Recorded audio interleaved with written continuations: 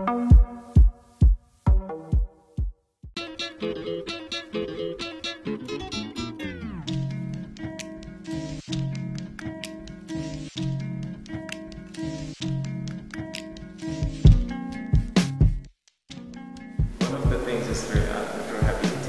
uh, because when you go to a state when you when you, it's, it's more like when the more you, you you're an artist, the you look at an artist, and there is a difference between a guy who knows how to draw and an artist, right?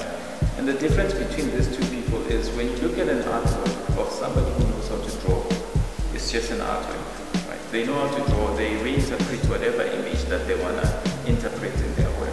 But an artist can draw a line, but within that line, there are emotions, there are feelings. It's a spiritual journey for that artist,